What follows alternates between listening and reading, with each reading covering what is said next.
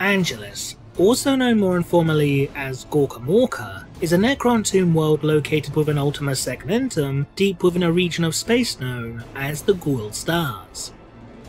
Sometime around early M35, an Imperial exploratory vessel known as the Eternal Vigilance would travel to Angelis for the purpose of conducting xenoarchaeological research.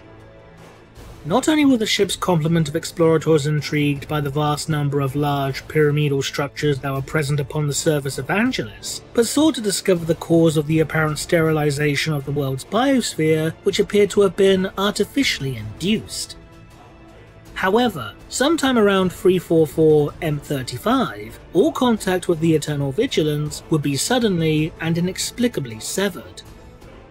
Despite the various attempts made by Imperial astropaths to re-establish contact with the ship and its crew, their efforts would ultimately be in vain, and following an increase in warpstorm activity throughout the Angelis system, the Eternal Vigilance and all hands upon it would be deemed forever lost to the Imperium.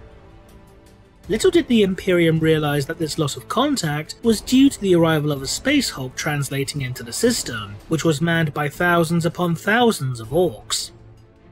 After colliding with the Eternal Vigilance, the Hulk would crash into the planet's surface, creating a gargantuan impact crater known as the Skid, as well as irradiating the surrounding landscape for hundreds of square miles. Those Imperials that were exploring and studying the vast network of tunnels and catacombs that lay beneath the pyramids at the time of impact would be buried alive under hundreds of tons of sand, stone, and debris, and their mindset would quickly devolve into a feral and primal state, as their priorities turned from the pursuit of knowledge to that of their immediate survival.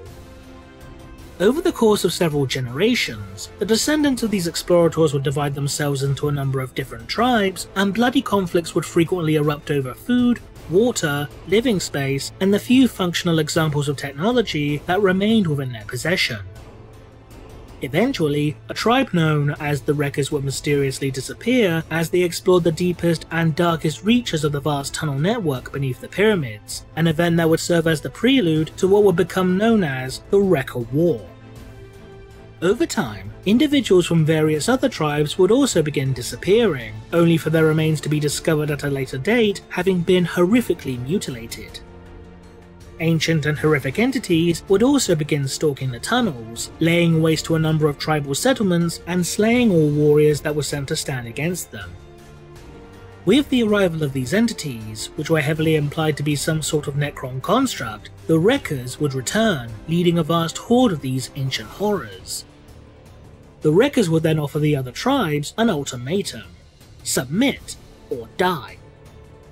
While some of the older and more established tribes initially refused to yield to these upstarts, the Wreckers would ultimately achieve total dominance, and would proceed to divide the various tribes even further, with each one now being led by a Wrecker. As the tribes began to expand further and further throughout the vast network of catacombs, tunnels that led back to the planet's surface would be discovered, leading to the events of the Big Dig. After several years of digging, the tribesmen would finally reach the surface, only to come face to face with the orks. The orks, amused and bemused in equal measure, would come to refer to these humans as diggers. The diggers in turn would become enamored by the culture and technology of the Greenskins, with many of their kind attempting to emulate the orks in both their style of dress and mannerisms. However, this wonder and fascination with the orks would soon turn to anger and fear, as the Greenskins not only began to enslave the diggers, but also plunder their tunnels and warrens for pieces of technology that they could sell on to their mekboy overlords. Despite the best efforts of the Wreckers, the Orks were simply far too strong and too well equipped to be challenged. However, all of that would change during one fateful night. In response to the ever increasing greenskin presence around the pyramids, the ancient horrors that had aligned themselves with the Wreckers would attack. The pyramids themselves would begin to glow with eldritch light before an unseen portal would open, disgorging an entire army of horrors whose eyes glowed bright in the darkness. The orks would be slain by the dozens, and their vehicles utterly destroyed in the ensuing carnage, forcing the survivors to flee into the depths of the desert out of sheer terror. after wandering the desert for several days, the surviving orks will be found and brought back to the settlement of Mektown. These survivors would recount the horrors of that night to the other orks, describing how many of their allies were felled by coruscating beams of light or simply dragged deep into the tunnels beneath the pyramids before having their screams suddenly silenced. In light of this series of events, the denizens of Mektown would decide to give the pyramids a wide berth, with the orks henceforth referring to the region as Morgark Durla Golska Drexnixlag, which roughly translates to Fortress of Ancient Terrifying Power and Land of Waiting Death, Pain and Destruction. Despite this, relations between the orks and the diggers would improve over time, even to the point where it is not uncommon to see diggers make the journey to Mektown in order to trade scrap and other pieces of technology in exchange for weaponry or vehicles. But one question to this day remains unanswered. If the ancient horrors that align themselves with the Wreckers were indeed Necrons, then why have they chosen to defend the native digger population? While some have suggested that Angelis, now Gorkamorka, is something other than a Necron tomb world, we know for a fact that the pyramidal structures upon the world are indeed Necron in origin. As detailed within the 3rd edition Necron Codex, various reports from the exploratory team upon Angelis prior to the arrival of the Orks would make their way into the hands of the Administratum, these reports, which are also present within Gorkamorka, that other book, go into great detail regarding the pyramids and the vast network of catacombs that lay beneath the surface. The fact that this report is present within a Necron Codex would certainly appear to support the notion that these structures are indeed Necron in origin. In addition, as detailed within the book Diggernob, the horrors that assaulted the orks would not only emerge from a previously unseen portal, but many orks would be slain by beams of light. The portal that had been described by the orks appears to be a crude description of an Eternity Gate, an example of wormhole teleportation technology utilized by the Necrons, which allows for the near instantaneous transportation of troops from one location to another. The beams of light that were described as being unleashed by the Horrors appear to be referring to the signature gauss weaponry of the Necron race, which are frequently depicted as generating intense flashes of green tinted energy when fired. The most likely reason behind the Necrons aligning themselves with the Wreckers is simply a result of the unique personality quirks exhibited by the world's resident Necron Overlord.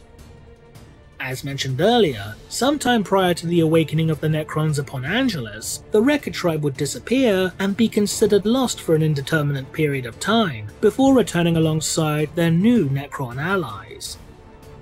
Because of this, it's possible that while the Wreckers were navigating the vast network of catacombs, they stumbled across a tomb that housed within it a high-ranking Necron, such as the World's Overlord or one of their Cryptek servants. Because the Diggers had degenerated into a more primitive, tribalistic society, it's possible that upon discovering the Necrons, the Wreckers would have viewed such constructs as being none other than the living dead, due in part to the skeletal appearance of many Necron constructs. This could have then led to the Wreckers displaying some form of submission, or perhaps even making a gesture of subservience to the Xenos, such as by bowing to them out of fear or reverence. Perhaps the Wreckers even began performing acts of human sacrifice to the Necrons in order to appease what they believed to be the living dead or even godlike figures. After all, as mentioned earlier, prior to the events of the Wrecker War, diggers from various tribes would disappear before their mutilated remains were discovered at a later date. Perhaps these acts of mutilation were in fact ritualistic in nature, performed as an act of worship towards the Necrons themselves, although it is also possible that such acts of butchery may have been conducted by a type of Necron construct, such as a warrior infected with the Flayer virus. If a high-ranking Necron, such as a Phaeron, had witnessed this display of submission and respect, then the Xenos could have viewed such behaviour as quaint or perhaps even charming in its own way, and may have decided to, for lack of a better term, adopt the Wreckers as his new servants, or pets.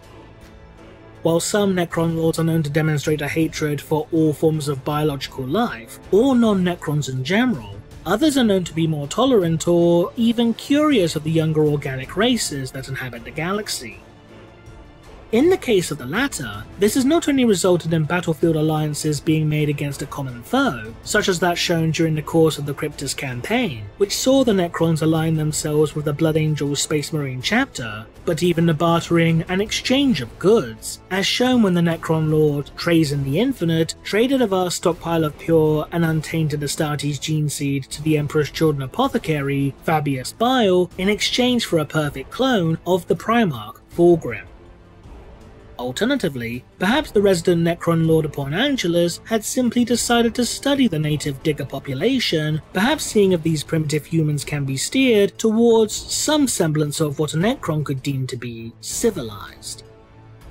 If this were indeed the case, then this could very well explain as to why the Necrons chose to aid the Wreckers in unifying the other Digger tribes, perhaps even intending to replicate the history and political intrigue of the ancient Necrontyr Empire in microcosm. Perhaps instead, the Necrons had chosen to conduct some sort of zoological study of the Diggers, either out of simple curiosity, or perhaps even to determine if it is in fact possible to transfer the personality engrams of the Necrons into bodies of flesh and blood once more, allowing them to effectively undo the effects of the biotransference process. If this were indeed the case, this could certainly explain as to why the Necrons seemingly came to the aid of the Diggers when the Orks attempted to enslave them. However, it is also equally possible that the Necrons simply viewed the Greenskins as being the greater threat, and sought to eliminate them so as to prevent their tomb complex from being looted and destroyed. On the other hand, instead of striking some sort of bargain with the Necrons, perhaps the Wreckers had found a way to somehow gain control over them. Perhaps the Wreckers, during their expedition into the deepest part of the world's catacombs, had uncovered some sort of relic or artifact which allowed them to bind the Xenos to their collective will, or maybe even deceive the Necrons into following their commands. While such a possibility is, admittedly, extremely unlikely, seeing as how lower ranking Necrons are bound to the will of their overlord through the use of inbuilt loyalty engrams, given the right circumstances, such a notion is still theoretically possible. For example, the Wreckers could have discovered that the world's resident Necron Lord had been destroyed as a result of some unforeseen cataclysm, and that for whatever reason, the Lord's personality and consciousness failed to be transferred into a newly constructed body. In this case, the Wreckers could have obtained the Fallen Lord's Staff of Light, an artifact commonly wielded by Necron Lords that serves as both a weapon as well as the symbol of their authority.